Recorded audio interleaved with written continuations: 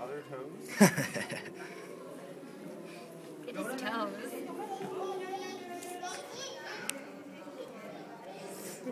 This guy definitely likes the taste of his own flavor. There we go. That was a good one. Oh yeah, tasty. Oh, I like that. that? Oh, Oh, well. oop, there you go. Got it. What are you thinking about, huh?